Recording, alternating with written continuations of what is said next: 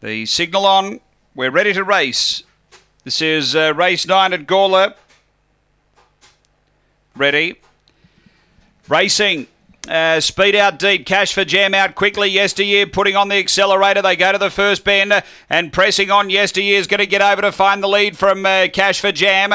Around the outside, Chief Bale heading my way, got checked right out of it. And Chris Tyson back there with it. So down the back, it's yesteryear. Uh, out clear here by, uh, headed now by Chief Bale and then came behind those cash for jam. Up to the turn, Chief Bale has got clear of yesteryear and cash for jam. Then came heading my way and Chris Tyson, but it's Chief Bale down at the line. Chief Bale by three. Cash for Jam second. Then yesteryear, Chris Tyson.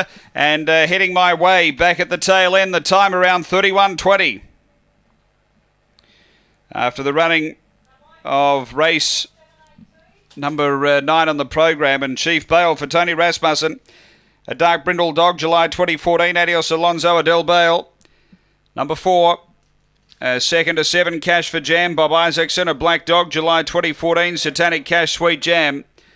And number eight, yesteryear, Tony Rasmussen, a black dog, November 2014, Premier Fantasy up and away. 4782 after race nine here at Gawler.